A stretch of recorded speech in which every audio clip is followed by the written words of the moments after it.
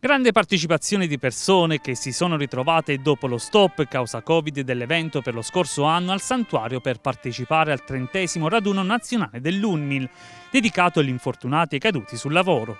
Manifestazione che si è svolta all'interno dei festeggiamenti per il centenario della canonizzazione di San Gabriele della Dorata e nel giorno del giubileo del mondo del lavoro e delle attività produttive.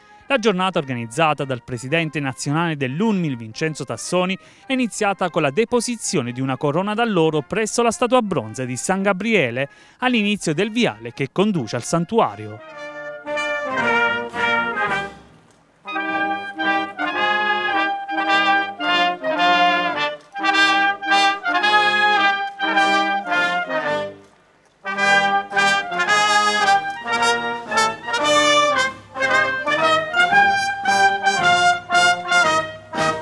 Oggi per noi è una giornata particolare per una serie di motivi, il primo dei quali è che eh, celebriamo qui a Isola del Gran Sasso la trentesima edizione del, dell'incontro degli infortunati sul lavoro con il santuario di San Gabriele. È dal 1990 che su mia iniziativa ebbe inizio questo bellissimo incontro che negli anni è aumentato a dismisura.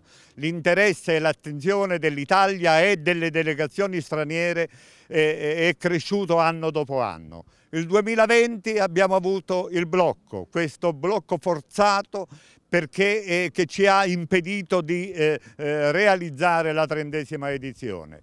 Lo riprendiamo quest'anno e quindi la giornata di oggi è destinata al giubileo del mondo del lavoro e delle imprese. Credo che questa attenzione alla, alla salvaguardia della sicurezza dei lavoratori è davvero un segno, un impegno fondamentale però deve partire da questa consapevolezza che l'impresa, che l'azienda è a servizio di tutti, è una comunità nella quale ogni persona, qualunque sia il livello di responsabilità, deve essere nella condizione di poter essere eh, protetto da eventuali difficoltà che possono accadere sul, sul luogo del lavoro.